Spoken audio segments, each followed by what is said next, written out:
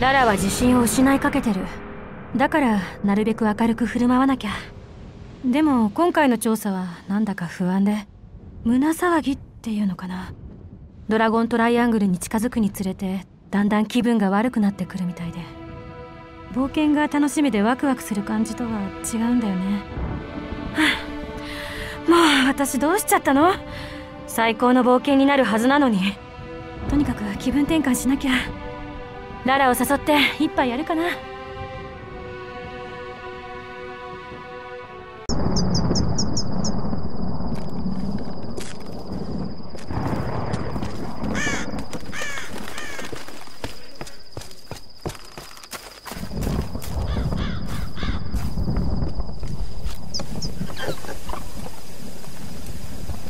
能の演じ手はうつむいたり仰向いたりして面をつけたままいろんな感情を表現したの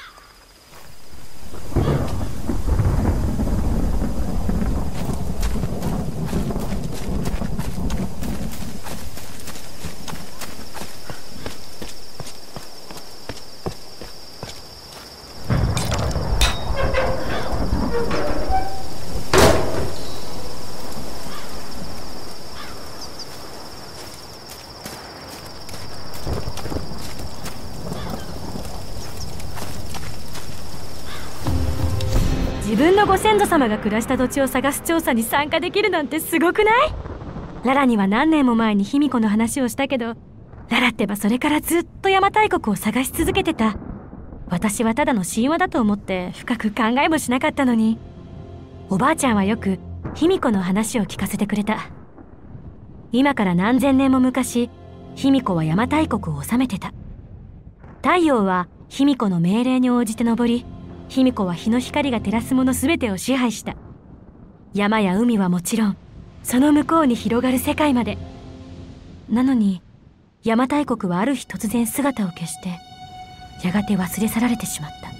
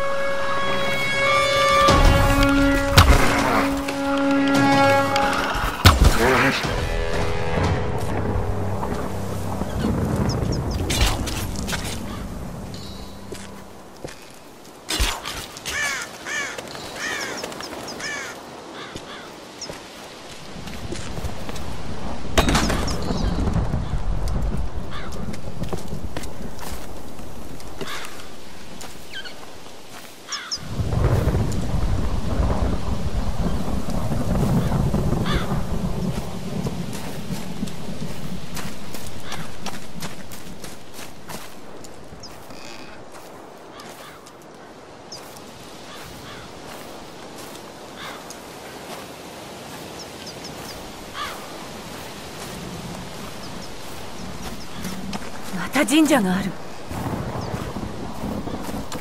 誰を祀ってるの？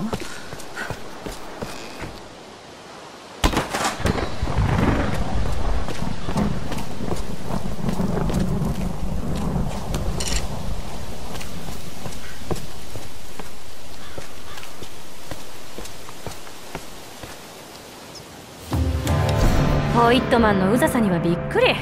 つなぎのシーンの撮影でなんであんな大騒ぎするわけ？だいたいカメラの前に立つのがあの人の仕事でしょ？実際の調査には何の役にも立たないんだから。まあでも邪馬台国を発見して撮影が始まればおとなしくなるかな。めんどくさい人ではあるけどあの人見せ方だけは心得てるから。私はとにかく冷静に仕事をこなすだけ。本人には言ってないけどこっそりララの記録も取ってるんだから。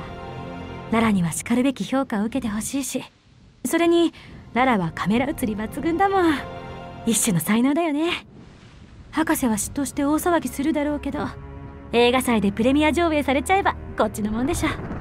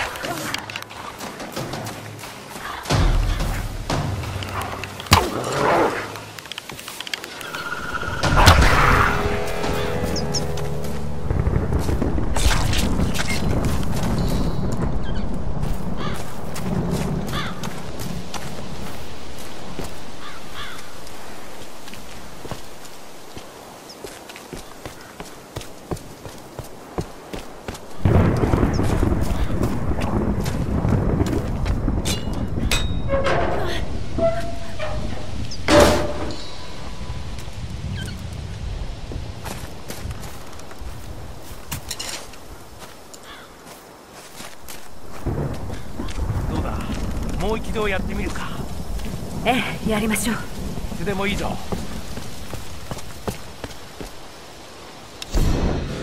待ってくれ。サインをする前によく考えてくれ。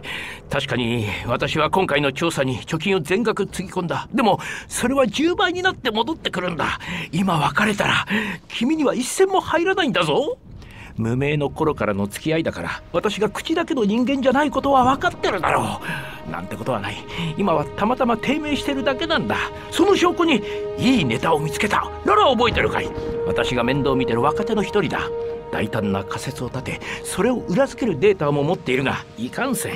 私ほどの才覚には欠ける。今回の調査で何か発見があればそれは私の手柄になるしテレビに映るのも私の顔だ。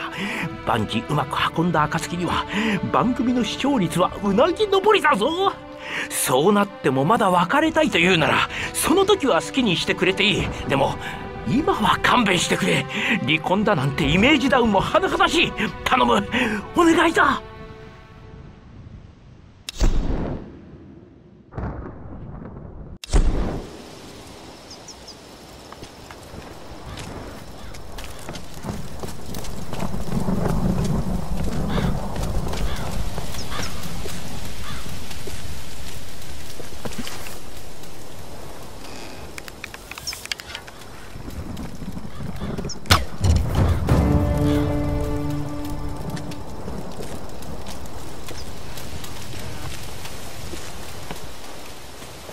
早かったな。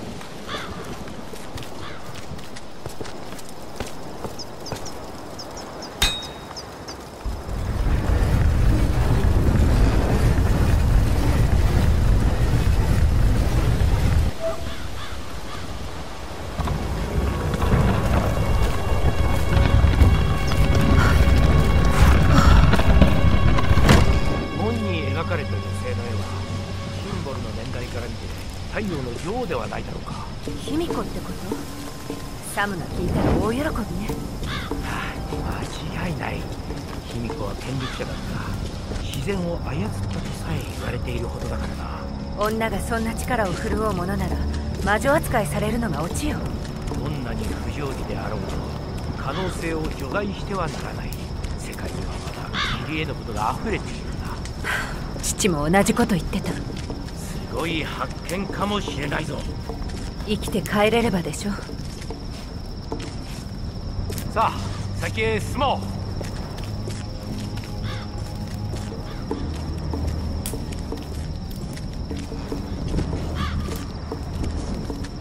今回の調査は君に少なからず負担を与えているだ。ろうしかし今は先へ進むべきだ